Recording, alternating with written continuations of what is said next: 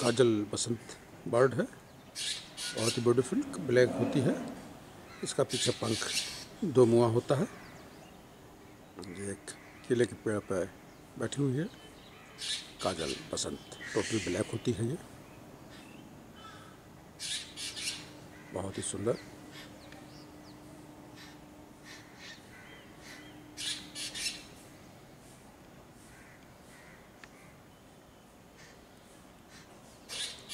इसको काजल पति भी कहते हैं और टोटल ब्लैक होती है ये।